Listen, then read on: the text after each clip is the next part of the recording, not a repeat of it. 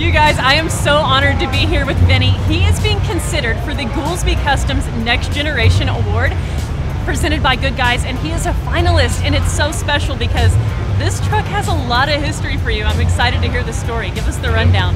So I bought this truck when I was 12 years old for $22 off my grandfather. $22? That's all I had So left after the trip down there.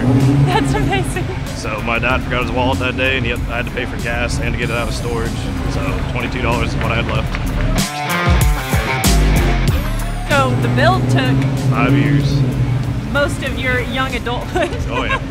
I love it. Yep. So um, this is its first time to Goodguys then? No, it's been here seven times. Seven times. Yep. Because you're 25. Correct. So you graduated when you were right on, right on. Yep. Dude, this is exciting. So has it ever been honored at all by Goodguys? Have you ever had any kind of Yep. recognition for your build? So I won it three years ago for the Young Guns Award. Nice. But I'm back again for my last truck.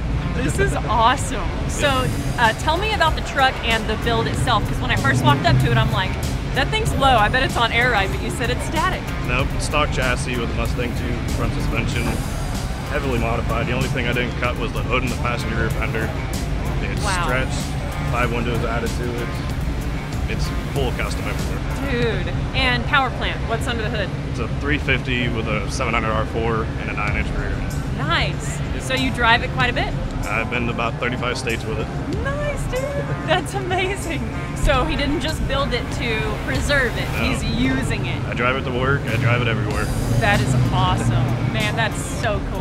Yep. I love it. Well, I'm so proud of you for being here, and I'm so glad that Goodguys has honored your hard work and dedication and Yep. the story. That's so important because there's so many folks here that have stories around their builds. And that's what Goodguys love so much is the history and the heart behind it all. So we're so excited for you, dude. Thank you. Congrats. Thank I you love much. it. Gorgeous truck. Thank you. Watch for more content on this and we are having a blast. It's raining today, so we're gonna do our best to bring you guys lots of good coverage. This is amazing. We'll see y'all soon.